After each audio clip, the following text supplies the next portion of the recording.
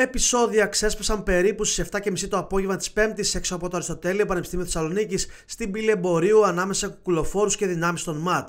Όλα ξεκίνησαν όταν κουκουλοφόροι εκτόξευσαν πέτρες προς το μέρος των ΜΑΤ απέναντι από την πύλη εμπορίου της ΔΕΘ στην οδό Εγνατία. Άμεσα οι αστυνομικές δυνάμεις απάντησαν με εκτοξεύσεις κρότου λάμψη και δακρυγόνων με αποτέλεσμα να σπάσουν διαδηλωτές και οι κουκουλοφόροι να τρέξουν προς το κάμπους του Αριστοτελείου Πανεπιστημίου Θεσσαλονίκης. Ορισμένα άτομα αποσπάστηκαν και πέταξαν μολότοφ εναντίον δυνάμεων της αστυνομίας, οι οποίες απάντησαν με χειροβομβίδες κρότου λάμψη.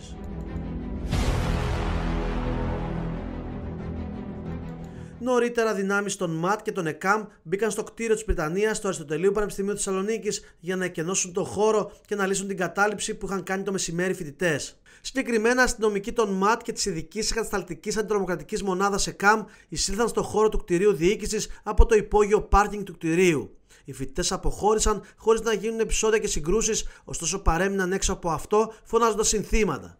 Να υπενθυμίσουμε ότι νωρίτερα την 5η 1η Φεβρουαρίου πραγματοποιήθηκαν στη Θεσσαλονίκη δύο πορείες ενάντια στο νομοσχέδιο για την ίδρυση μη κρατικών πανεπιστημίων. Η πρώτη ήταν των φοιτητών και η δεύτερη επίσης από φοιτητές, μέλη της εξκοινοβουλευτική αριστεράς, μέλη του ευρύτερου αντεξουσιαστικού χώρου και εκπαιδευτικούς. Με την ολοκλήρωση των ποριών, φοιτητές κατάφεραν και εισέβαλαν στο κτίριο της Βρυτανία στο Αριστοτέλειο Πανεπιστήμιο, το οποίο τελούσε υποκατάληψη.